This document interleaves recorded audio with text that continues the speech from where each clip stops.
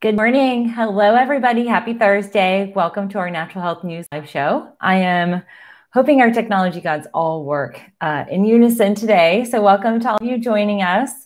Today, I'm really excited to share with you a, two really core tips to improve your immunity by healing your nasal passages and your oral, your dental health. And this is really critical because when it comes to our exposure to any viral or bacterial invasions, uh, the ways that we see integration into the body is through the nose and the mouth. And so this is going to be really critical for us to bolster and support our immunity by balancing and healing our nasal and oral uh, passageways. So today's video, the core of our video is going to be addressing ways that you can address this at home very easily and actually in a very expensive uh, way. So I'm going to share with you some uh, kind of methodologies, approaches, and kind of steps to healing your oral and dental um, health and then also your your sinuses and sinus nasal ear nose and throat passageways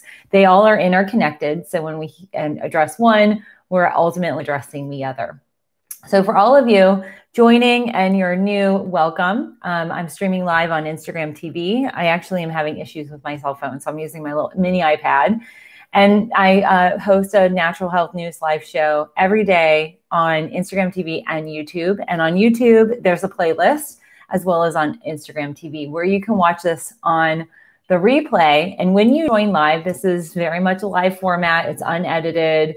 I just have some notes, so it's not scripted um, in my delivery of communication. And I just want to share with you that my intentions is to help my my singular intention is to help you and your family get through these crazy, perilous, stress filled times of COVID 19 um, in a healthy, as stress free manner as you can, with a focus on the ways that you can use natural healing and natural medicine to cater to your health needs. That's my focus and intention. So if you're excited about this content, please give me a thumbs up. Um, it totally helps our algorithm, and I hope you will share, hit the share button and share on Facebook. Um, so if you are watching on the replay, there are show notes down below on YouTube, up above on Instagram TV, where you can click on the timestamp where we get into the oral and um, nasal health. So if you want to bypass the natural health news and the, the news about COVID right now that I'm going to go into, feel free to hit that uh, timestamp. So today um, I have just a little bit of information. I have a really interesting study that's come out this is going to get a lot of coverage. So you guys might hear it here first. Um, but just globally, the world is really in that exponential phase. So we hit 22 million cases this week. We're at 22.4. We'll be at over 22 and a quarter in a day. Um, and it's just increasing. We have uh, globally 783,000 citizens across the world who've died of COVID. We're um, more than three quarters of our way to the million uh, mark, which is insane. And here in the US, we're at four, uh, 5.4 million cases. We posted a big day yesterday. There were over 1,300 fatalities. Any day that's over a thousand is considered a really bad day. Um, any day where any individual loses their life is a bad day for the family and community members. We are now just under 175,000 US lives lost to COVID.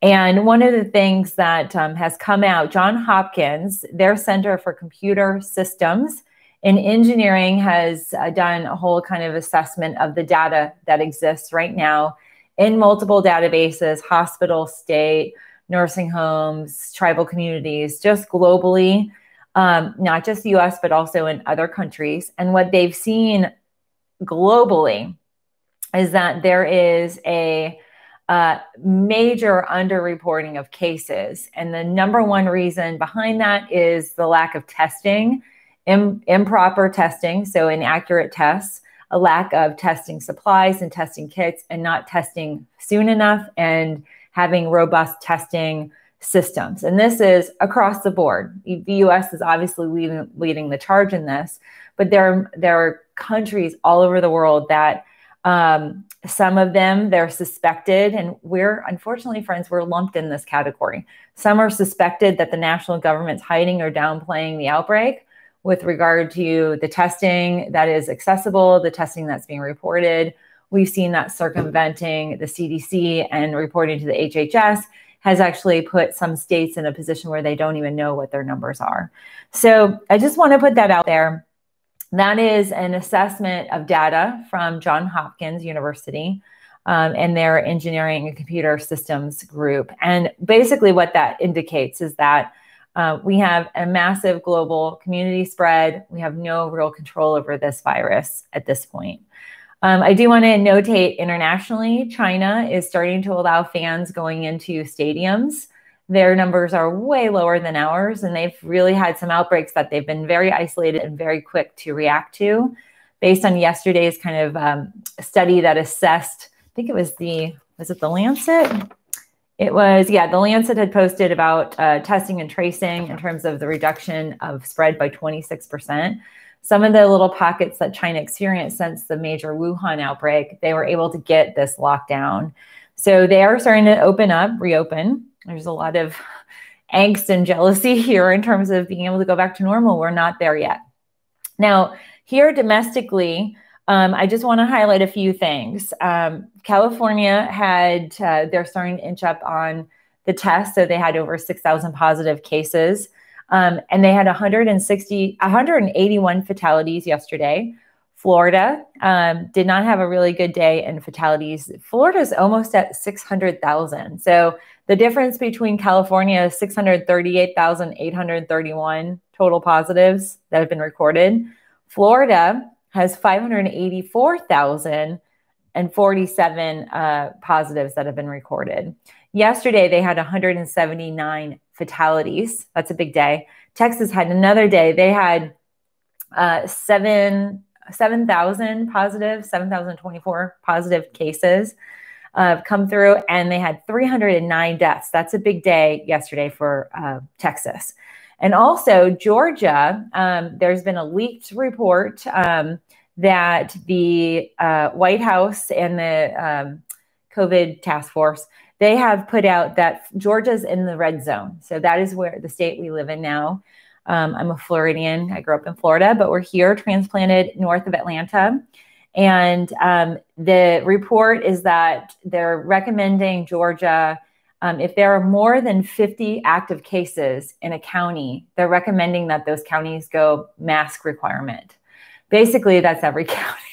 I mean, I can't. It's it's just so insane. Like I I laugh about it. It's not funny. This is not a funny matter. But their recommendation is that if you have if you are in a city or county with 50 or more active cases, then you should be having mask ordinances. And when we look at the school closings, we have three high schools right now closed in our county um, because of the outbreak that has begun in the school setting and in a county where there's no mask requirements and kids are going to school not wearing masks. I did, I made a run out yesterday, uh, drive through run um, to Walgreens to get something for our video today. And one of the things that I noticed, it was the bus driver, you know, the buses were dropping off. The, all the bus drivers are wearing sunglasses and masks, but there I noticed some kids on, on buses that were not wearing masks, which is concerning. Um, so this may be something that uh, may have an impact in Georgia, more likely than not, um, unfortunately. And um, there was some communication that we should expand our testing. Um, so that remains to be seen. But just globally, or just nationally, so focus here in, in the US nation, um, Georgia, Texas, and Florida um, are leading in the cases per capita. We have more, more cases per capita in Georgia, Florida, and Texas than New York, Arizona, and um, New York, Arizona, and California. So that is very concerning. If you live in one of these states, Georgia, Texas, or Florida, we have uh, community spread. We have an outbreak, and we are an epicenter. And Georgia's been there's been a lot of chatter that we are uh, the next epicenter. So I do want to highlight just uh, some news about colleges. Um, there's been more discoveries of COVID on the UNC campus, University of North Carolina. Um, there are now Cloisters is expanded out into from there was a Sigma Nu House that had that fraternity was locked down with COVID. Now they've identified two sorority houses. Uh, one house has seven uh, positive cases, another has six. Um, so that's more news there, and that's a week into uh, people being on campus. Um, there is currently a battle apparently happening between the Department of um, it's it's HHS, Human and Health Services, and the FDA. And um, what why that's really critical is that the FDA generally is the approval body for pharmaceutical meds. They make statements about our food safety you know, however you want to see the FDA, there's a lot of kind of fine lines in terms of, you know, whether they're regulating for our safety or not. When we look at European markets and the amount of chemicals that are allowed in ingredients. So the FDA tends to be a little, a little bit, you know, and I'm, this is this is very mild, but they're they're they tend to be lax in terms of just how how tight they are with the requirements. Well, the um, HHS, Department of HHS, actually has determined that when it comes to the tests, the COVID testing, the private COVID tests that are coming out from manufacturers, the HHS has determined the FDA does not have the authority to regulate lab developed tests. And if you recall, if you joined me yesterday, I reported that there was a test called Thermo Fisher. Um, they have a, um, a pathology test. It was the first one first uh, lab developed test that was granted emergency authorization from the FDA. And they're pumping out false positives. And I highlighted about this research that this is very concerning, especially when this is used in like nursing homes and they cluster people who are positive cases. And if you've had a false positive, you now are going to be in a room with COVID patients, and you, if you didn't have it before, you will for sure get it. Um, this this is not great in the world of of regulation and there is a role, you know, we do have to have some sense of regulation for safety's sake. Um, and so there's this ongoing battle. And I don't know how that's going to shake out. But what the problem here is that there are relaxing of testing rules. And um, you know it, it's problematic when we're tr- we have such community spread, we have such a lack of testing facilities, locations, you know, Florida's still not back online post the hurricane. And I think it was utilized as a way to just shut down some of those major testing facilities in the epicenters. Um, the problem here is that the FDA has to have some role in regulating this. And it's this battle, and we are losing as citizens. Um, and our family members, not everybody knows, who, you know, what test. You're just getting a test. You're not always uh, aware of or made uh, aware of who what test you're taking. So as far as the accuracy levels and the points of accuracy, it's very problematic. Um, now, this is one really, really interesting study. Very, it's a small study, but basically, it's out of New York. It's out of Mount Sinai, and um, it's called the Bubble Study. it's really, really fascinating. But essentially, um, what's happened with COVID um, all these physicians were noticing, uh, and this again is New York based because New York had such a huge amount, you know, early phase. A lot of people are in respirators and ventilators. When they started identifying, was that when they would take people off ventilation, people were demonstrating brain damage. The neuro COVID had taken effect, and they're they're trying to identify what right now why that's happening. And this one clinician um, wanted to do what they call transcranial Dopplers. And it's a way, a Doppler is an assessment, kind of an ultrasound of our vascular channel. So transcranial means through the brain. So it gets through, it's a, a special, special type of scan. Um, it is non-invasive, it doesn't hurt the body, but it's a way to get through the bony mass of our cranium, our skull, and gets in to see the vascular channels of our brain. And they wanted to do these transdoppler uh, scans on patients.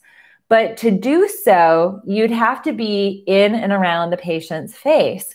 And they, it, it, it was, it's risky. It's risky with COVID, it's risky with exposure. So this doctor um, used a new technology. It's a robot um, track that actually is able to do uh, that that transcranial Doppler and from afar. So they're using robotic technology to be able, and it sits in and around the head. So you don't have to have a clinician holding a wand, you know, or how, however they're doing that around the brain, being close to somebody's breath. So what they've done is they ran a study, and basically this this robot tracks. So it goes around the head and it tracks and is able to identify brain function and the stroke risk of these patients because what they were finding is that the microclots in the lungs also mirrored some of the stroke situations. So people were getting microclots in their brain, and that's why they weren't coming out of uh, the medicated comas. They weren't going back to their pre um, ventilation selves. They were lax, you know, there was they were noticing a lack of, of motor function and a whole bunch of other brain related damage. So, what this doctor did is with this robot, they do this study. So, a bubble study basically is they inject uh, a saline solution that has small little air bubbles. And it's not something that would hurt you, but what traditionally, like if you're if you have a healthy lung function, what would happen is those bubbles would go and get cycled out via the lungs, via the capillaries of the lungs, and you would that bubble the bubbles would literally exit and the gas would then move from the lungs and out. So you'd be just exhaling those bubbles. Well in covid patients that doesn't happen. And they were trying to find out why. And so the thought and the theory behind this they scanned 18 people. They did 18 of the bubbles the bubble uh, robot technology. Um, 15 of 18 identify that these bubbles actually seep through and bypass uh, the lungs, um, and they actually either exit through the heart. And the only way to do that is if you had a hole in your heart or some sort of abnormality. Um, and so there may be some people do have holes in the hearts. They have, you know, valve dysfunction. So that might be one but potentially COVID might cause that. And we're seeing a lot of, you know, cardiovascular heart related impairments. But what, what they found is that there's an abnormal dilated lung capillary function and that that does not allow the body to get rid of these bubbles and ends up the bubbles seep through and move into the brain. And and so what that means is the bubble study is just showcasing how the oxygen is not exiting uh, the pathways it needs to, and instead it's in it's moving through the blood, breaking through the blood-brain barrier and getting into the the brain, and that's where we're seeing some of the damage. That is a very very big breakthrough, friends. It's very fascinating. Um, I, I think this is going to have significant positive ramifications in terms of potentially identifying stroke victims way sooner. You know, there's no way when somebody's in a medical induced coma to know if they've had a stroke. Traditional kind of the the way of assessing is through symptoms. And when somebody is not demonstrating any type of symptoms, there's no way of knowing when, the extent, the degree. So this is really, really fascinating. Um, so that is that's a really big piece of news. I was excited to see that. Um, and the other thing that I want to highlight is another study that's come out about children. It's out of Mass General and Mass uh, General uh, Children's Hospital up in Boston. Um, what they've identified is that uh, children who are testing positive with COVID, it it re uh, it, it affirms other studies that showcase children that do test positive, they have higher levels of COVID viral particulates and that children are the most contagious uh, because of that. So we knew in studies from two weeks ago, um, or studies I've I've highlighted two weeks ago, but they were they were they've been articulated June, July. Um, what they found is that in the sinus cavities, and this is why we're kind of going into oral sinus uh, health today. Um, what they found is that the sinus cavities of children, when they did a swab, there was a lot of viral particulate and so, even though, like, we now know that children 10 and older are breathing like adults and have the same kind of contagiousness as an adult in terms of the extent that the air goes out, but now we've identified children, younger children particularly, have massive uh, just an overwhelming abundance of these viral particulates. They may be pre- pre-symptomatic or asymptomatic, but they could infect the adults around them, the older children around them, grandparents, teachers, bus drivers. So this is very, very problematic. Um, but and that so those are two studies. So the bubble study and this Mass Gen Children's Hospital study about children's viral load and the uh, contagiousness of um, their um, the viral particulates is really critical. So, with that being said, today, let me write down my little timestamp. Um, today, I want to talk to you about how to enhance, improve, support, and heal your uh, nasal passageway, so your sinuses. And this can include up here, we have a sinus cavity up here. Um, I am definitely feeling that here. We've got a lot of particulates uh, roaming through our house as we are in phase one of our remodel upstairs. And you know, you have sinuses, pa- sinus passageways up here.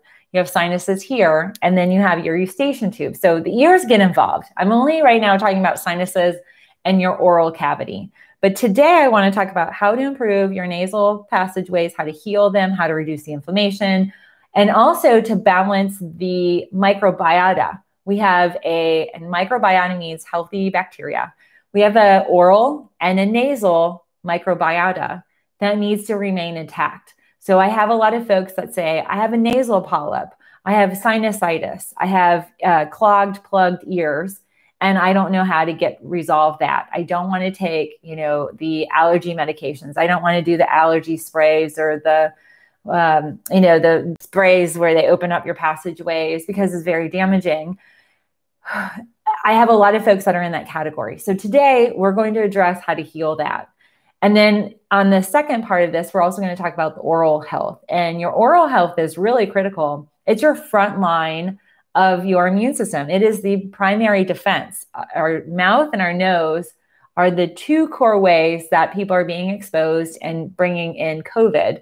Our eyes as well, but particularly, you know, you're touching your your fingers, you touch your mouth, you touch your nose, and that is how a lot of germs, uh, naturally, viruses and bacteria enter the body.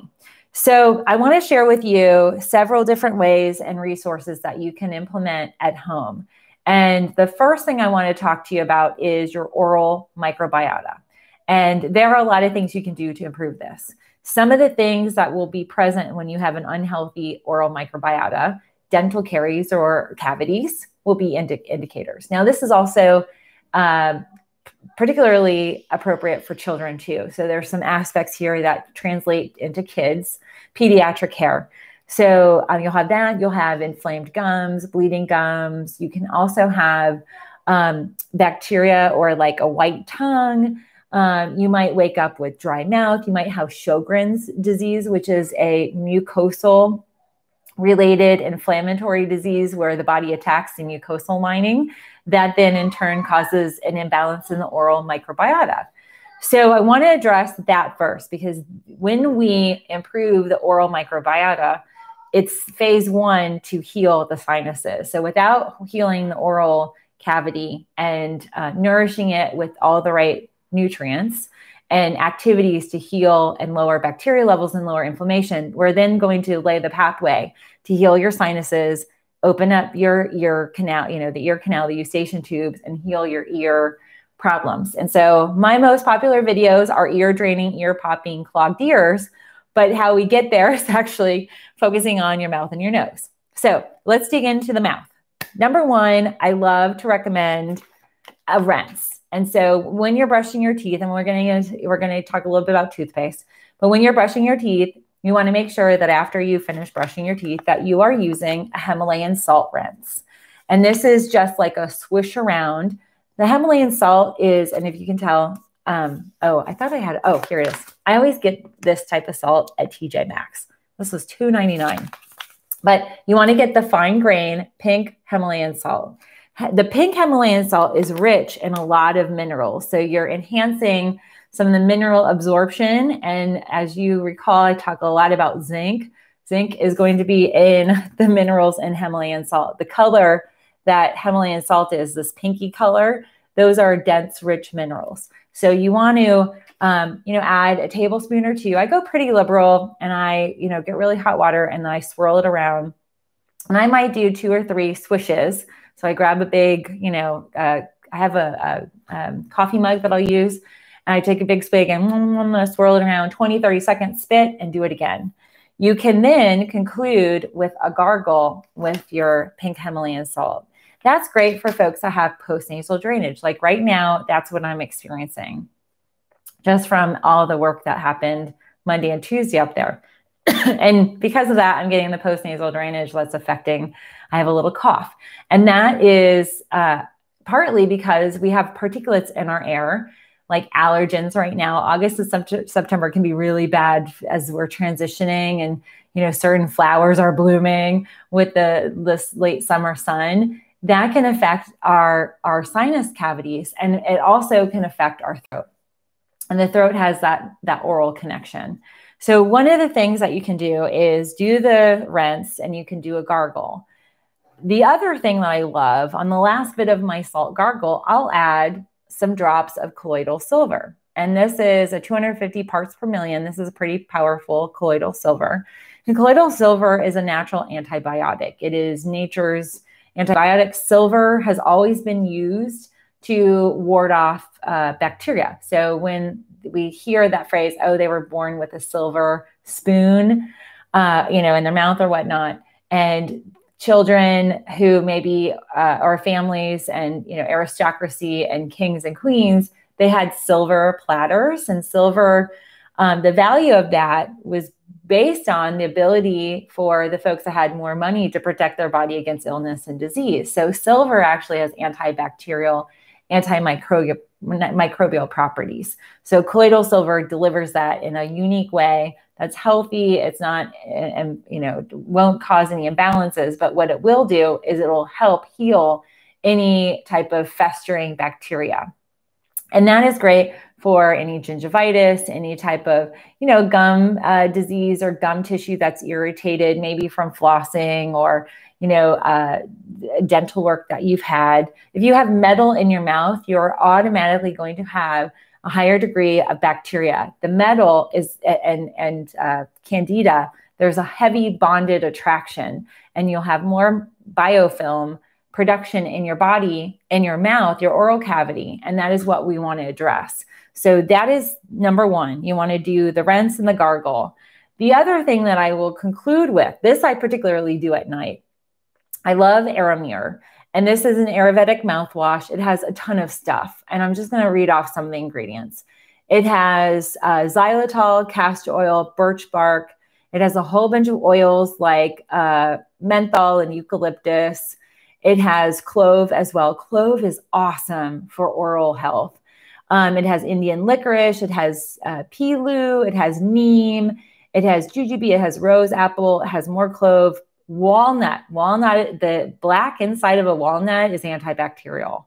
Um, it has Indian almond, it has betel nut, it has Asian holy oak or holly oak, prickly ash, it has cinnamon, it has sarsaparilla. This is awesome. And I tell you what, like, I love this stuff.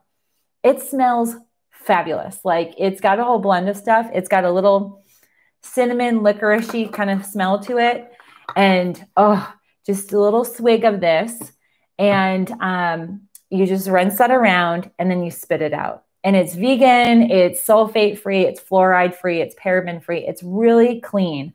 But this has 23 different Ayurvedic herbals. And I have links. You can grab this on Amazon.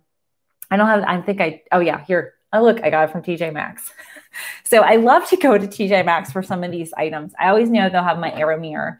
And I also want to talk to you about your toothpaste. So a lot of toothpastes on the market will have sulfate. They will have fluoride. They'll have parabens. They'll even have gluten. And they will have, um, and sulfate. So let me tell you about sulfate. So what people really kind of mentally love they love when they get their face and their body lathered. It makes you feel like you've got soap going on, you're getting clean. Partly it's psychology. The other thing is it's an ingredient that's extremely harmful to your body. And so when you choose a toothpaste, you want to choose a toothpaste that's sulfate free. Um, and sodium lauryl sulfate, that's the core ingredient. that's unhealthy. That will screw up your oral microbiota. So if you choose, and, and I have to also say, you have to read your labels. Tom's of Maine has sulfate. So there are labels and brands that are natural that you think, oh, this is totally okay. Mm-mm, it's not there. Um, Auromere, they have a toothpaste. I love their toothpaste. So um, the neem in it is so healing to gums. It's so fantastic. And I recommend this. I used to, and and I had a retail, big, large retail facility in Florida. When I would recommend that to, to customers that would come in, they'd come back three, six months after and say their dentist literally was like, What are you doing? And they said, Oh, I just made a change in my toothpaste and noticed big changes in terms of you know when they do like the little i can't remember the name of it it's the scaling when they do the you know two one one two and it can go all the way down to i think eight or nine and that is indication of pockets and and a, a, a inflammatory state of the gum. You know this is your tooth and your gum. It there's kind of an opening and that opening is where we see bacteria and then we see the the tooth decay. We see tooth teeth loosening things like that. Very very critical. Um, Pau says just found another bottle of that mouthwash at TJ Maxx. Yeah, good stuff. I actually, I have to make a TJ Maxx run this week, probably Sunday morning, because I am down to my last notebook. These are, this is all that I've got. I have these really, I get these great notebooks isn't that great? They're like leather bouncy, TJ Maxx. $6.99 is one of my favorite style notebooks. Um, so I'm going to be making a trip. I'll probably post in a Sunday or two my TJ Maxx haul. But it'll be in and out, and I'm not bringing my camera, my phone with me, so you won't see anything on the shelves. Um, but that is really critical when you consider you want cleaner, greener toothpaste. So look at the ingredients in your toothpaste. You can make your own. I actually share some recipes as well um, on other YouTube videos. So I have a whole oral uh, playlist that you can check out. But definitely consider looking at your toothpaste um, and you know some basic toothpaste that can be beneficial. You know, coconut oil, baking soda, you know, silica. There's ingredients you can easily buy over the counter in bulk, make on your own. You can add clove oil, which is fantastic. Clove oil is so good.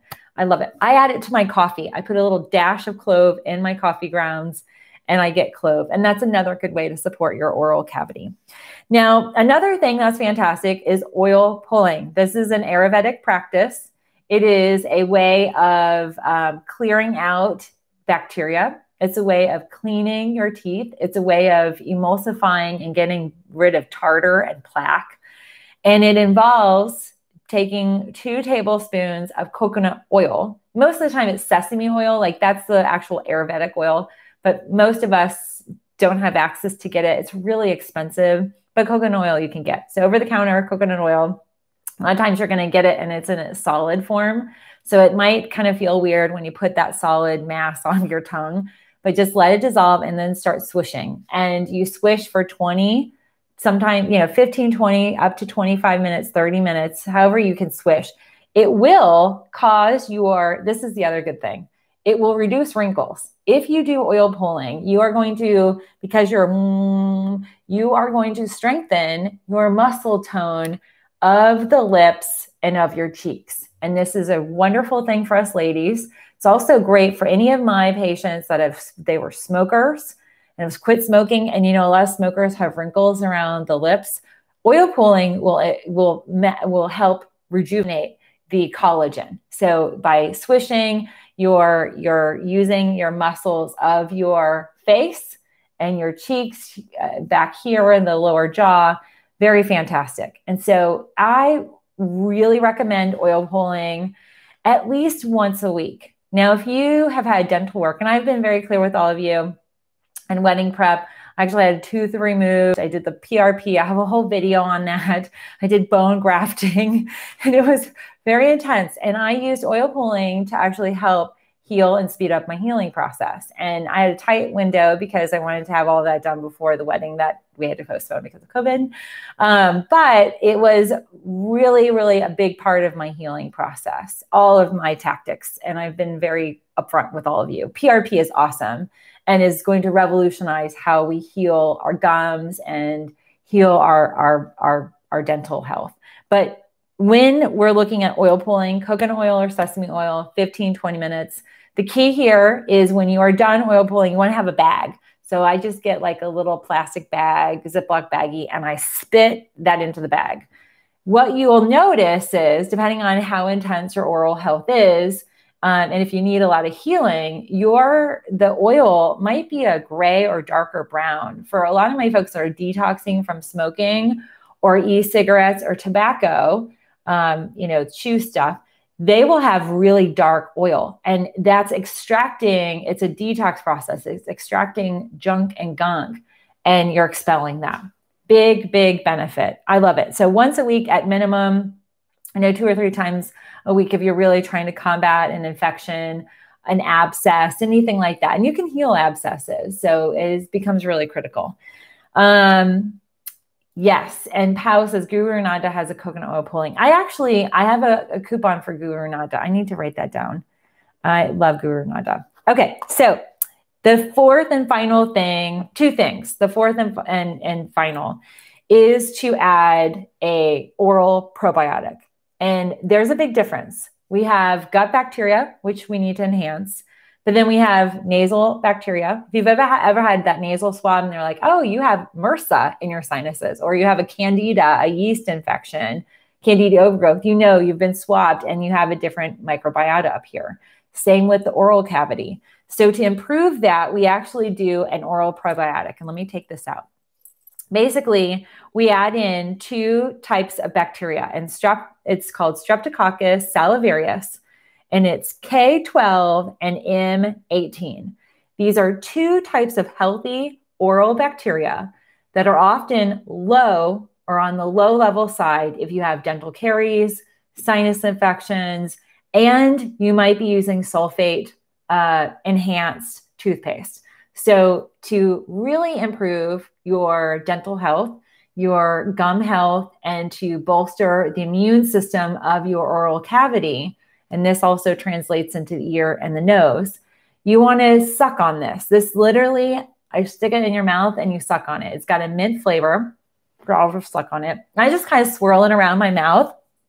And you know, sucking on it. It's like 15 minutes. It's like just a little dinner mint, but it's got this kind of minty flavor. I have a link to this down below. Um, but it's something for you to consider doing. This would be something I I would recommend every day. Um, I give this to Gabriel. Gabriel had his first oral checkup with the dentist. Perfect, perfect health. I have some uh, other kids I know in our lives that have had dental caries already. And when I was young, I was one of those kids. I wish I would have had this accessible to chew on or to suck on. So the way you want to kind of do this, you brush your, you know, you do your flossing, brush your teeth. Um, and by the way, if you're not using an oral flosser or oral toothbrush that's a vibration like a sonic brush, those are really the best type of brushes. And there's a lot, Quip and a whole bunch of other ones that are great.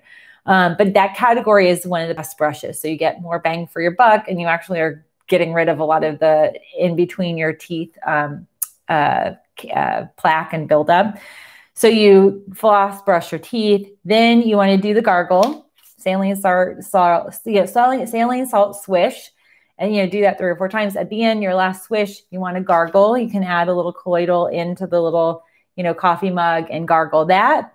Then um, the next thing that you want to do is, especially at night, an Auromere. You just swish this around and then you give yourself your little oral tab. Um, and it's it, you know, by the time you're getting ready, you, you know, you do that, wash your face, you know, and get get yourself ready for bed. This will be dissolved. But that is a very good activity to do every evening. And you, I promise, put money on it. You will notice big differences. Now, another thing that just is is an oral enhancer, but also just globally I love the MycoShield. I'll post a link for this. I think I forgot to post this link, but this is um, a immune support peppermint spray, and it's got a whole bunch of mushrooms and literally sprays like that.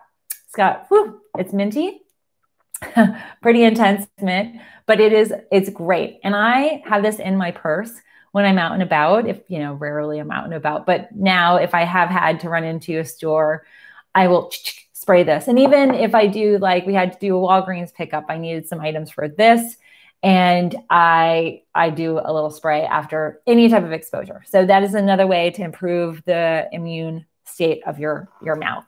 Now, let's talk about your sinuses because your sinus health is very much hinged on your oral health. If your oral health is in bad shape, and I don't I say this lovingly. Um, you know, no judgment. If you have, you know, inflamed gums, if you've got a lot of uh, gunk on your your tongue. Oh, by the way, the other thing I, I forgot to include, forgot to bring it down, a tongue scraper. It is a very good idea after you brush your teeth, before you do your swishing, scrape your tongue. You will be oh, floored by how much gunk comes off your tongue, especially when you start doing it. The more you do it, the, the better your oral health gets. Our tongue is a major source of bacteria. And, you know, depending on your gag reflex, you can go really way back, stick your tongue out and go way back and just scrape, do two or three scrapes, you know, you have your water going and scrape. And then obviously you want to put a little, I have a little hydrogen spray, I'll hydrogen spray before, you know, before I use it, I just then spray it and then put on water and then I, I clear it again. So that's the other thing too. You want to make sure you're taking good care of your toothpaste, your toothbrushes. You know, have spray or put a little hydrogen peroxide. Some people will put their uh, their toothbrush in hydrogen peroxide in a little mix of water solution. That's actually the best because a lot of people don't even realize the amount of bacteria that's sitting on your toothbrush that might be open, not covered. If it's covered, it might get a little bit more bacteria. So you want to want to really take good care overall. But when it comes to your sinuses, if you're not addressing the oral first, it doesn't really matter what you do up here but I'm going to additionally enhance what you're doing with your sinuses. So, first and foremost, saline sprays are critical. This keeps your sinuses enhanced, it keeps them lubricated. The salt is very healing, salt's anti inflammatory. Salt will get rid of any of the mucus. And this is what I'm using all day to help get rid of some of the inflammation I'm having because we had drywall that was cut into, there was woodworking, like literally we had our walls opened up. Some are still open. We've got the plastic thing going on. So there's a lot of particulates. This is very effective when your particulates are allergens outside or animal dander or whatever it might be, mold as well. So saline sprays like this are very beneficial. The other thing that I really love, I brought you guys my little cute neti pot. This is one of them. But neti potting, and I have a whole bunch of videos on neti potting. Um, but this is a neti pot. It's literally a teapot for your nose. and this, you have little saline packs. This happens, this guy is called the, the Med, Neti Med. But then there's the Himalayan Institute. They have really good neti pots. They're, um, they're ceramic. In my family right now, I can't do anything ceramic because it would break. But you know, they've got little plastic ones, and literally, it's a little teapot for your nose. You stick this. You you put water in to a fill line. You add your salt and I do want to recommend that you use filtered water, like from a Berkey. And then you'd want to gently warm it up, not overly hot, but just enough to be comfortable. You want it to be somewhat warm, not, not too hot. Um, and why you want to use filtered water is that a lot of the chlorine and there's contaminants that are in the water sources that are going to cause additional irritation. So make sure some people will use distilled water, not a bad thing. But your saline, you add your your water, you get your salt packet, um, and then you go to town. You literally you'll you'll drain one sinus. So when it goes in the left, it goes all the way up, and it'll come out. You know, goes around and out. And what that does is it clears out mucosal debris. It's a way of getting rid of that mucus that feels like it's stuck, you know, in the back of your throat. Um, having been doing this for now over 20 years, sometimes when you're really clogged up at, you know in the morning and you're like whoa you can see the the colored mucus exiting. Even after you've like gotten up you've blown your nose you're like oh my god i'm so stuffed up. This is such a great way to alleviate sinusitis. Chronic inflammation of the sinuses it's also a way to heal polyps. It's really great for anybody who's had any type of rhinoplasty or any type of nose surgery you know, there's always going to be a degree of inflammation and scarring, deviated septums, all of that can really benefit, especially when you get these sinus headaches. And you guys know what that's like. It is so painful and it can feel like just you just want to open, you just want to poke a hole and let the pressure out. So the pressure can cause eye irritation and irritation in your eyes. Then the pressure, we get that pressure in the eustachian tube. So clearing sometimes that popping noise. Just a neti pot several times a day, morning and evenings, what I recommend. So, you know, one of the good things is you could do this before an oil pulling and you could have your sinuses clear or before you, you know, are doing your oil pulling. So just a recommendation. Neti pots are fantastic. I have a link down below to this if you want to check that out. Amazon's a great source for these. So you, you don't have to go anywhere. Um, the other thing that I do want to recommend is um, Himalayan Institute is one of like all they do is our neti stuff.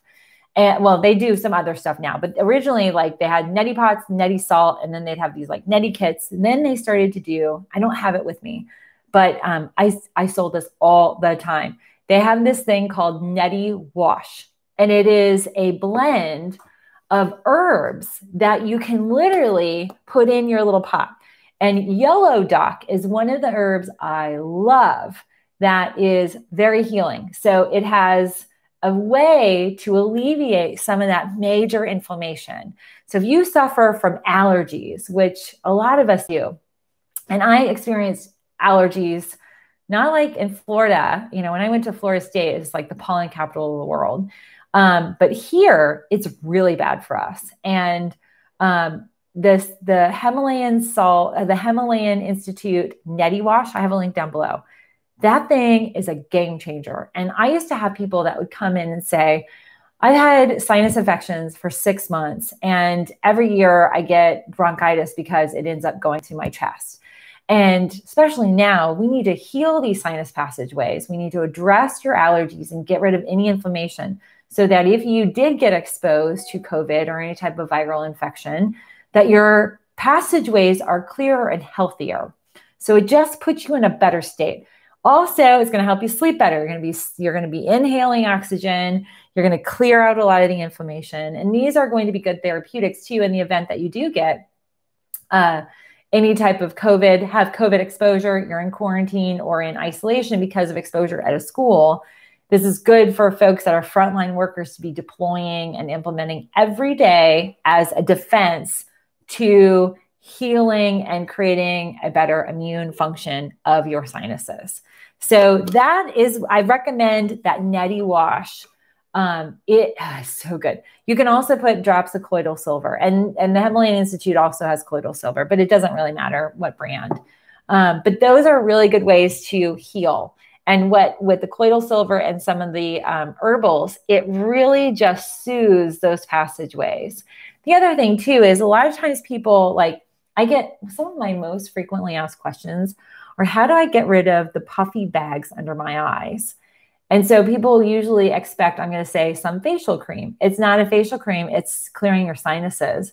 So a lot of times at night, if you don't do a neti pot before you go to bed, you've got all these allergens that then settle in and cause intense inflammation. And inflammation, the way the body deals with it is it's an accumulation of fluid. And so the inflammation will cut down, you know, the passageway uh, functionality. Some some people might snore because of the inflammation.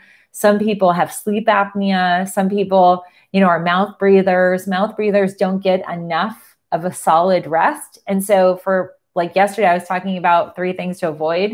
Not sleeping well is one of them. Well, sometimes your inflammation in your uh, sinus cavity could be giving you poor sleep.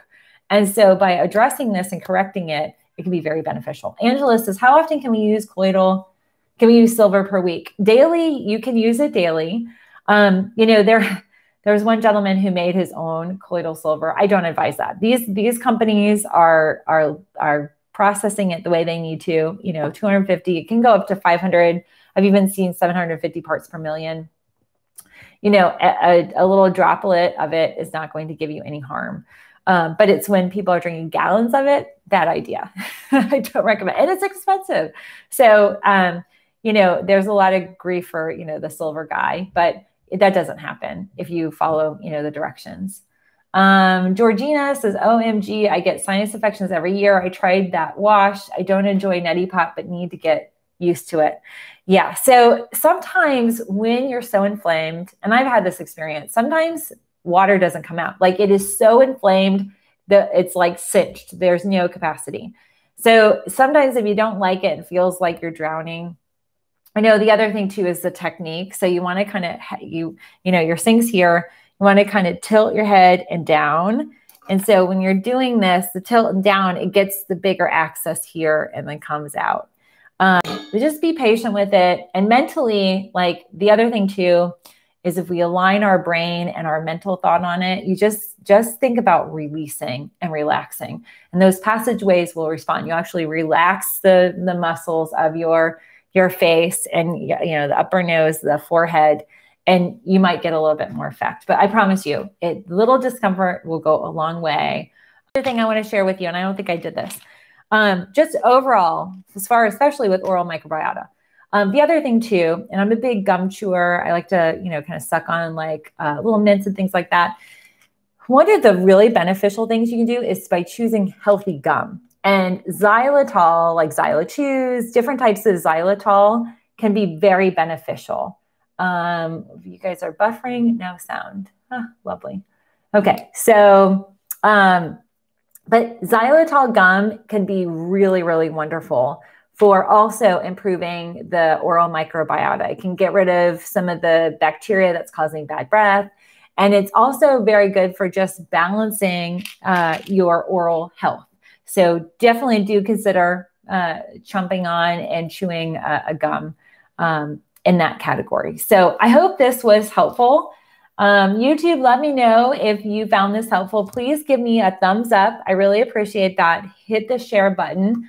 I also want to thank Futuristic. He provided, uh, Futuristic is in Australia. He gave us a $10 super chat. I am grateful. Thank you. Thank you. I really appreciate that. And um, you know, for folks that are watching this video and you experience sinus difficulty and, um, you know, different kind of like tonsil inflammation or even even heartburn, you know, that's affecting your oral microbiota. I promise you, you do this routinely, get in the habit of doing these activities every day, and most importantly, switch out your toothpaste. You will notice big changes in terms of that, those inflammatory levels. So it looks like we lost sound. I'm all good on my end. So I don't know what's going on with YouTube. Um, but I just want to thank each and every one of you for uh, tuning in and for participating and being such great uh, viewers. I'm grateful for this opportunity to give you some tips to help you heal and to get you feeling fabulous. So uh, definitely tune in. Tomorrow is our Q&A live Friday. Um, so I'd encourage you to join me um, tomorrow, I will post uh, a call for questions. And it's funny, some people can hear me fine and others can't. So I don't know what is going on. But at any rate, thank you again for tuning in. Please, if you love this, give me a thumbs up and um, uh, share this content. And most importantly, go back when this, especially on YouTube, go back and comment um, on the channel. And I saw a lot of questions. I wasn't, I'm so sorry. I was so zoned in. So if you have additional questions, specific to ear, nose, and throat, comment on the comment box. I'll make sure that I um, uh, review those. I am, uh, re- man, I tell you what, this kindergarten, the junior K thing for us, it is really intense. And so I'm like, I'm by Gabriel's side pretty much up until three o'clock. Um, so I want to thank each and every one of you and uh, have a fabulous day. I will see you guys tomorrow. Bye, everybody. Thank you. See you guys later.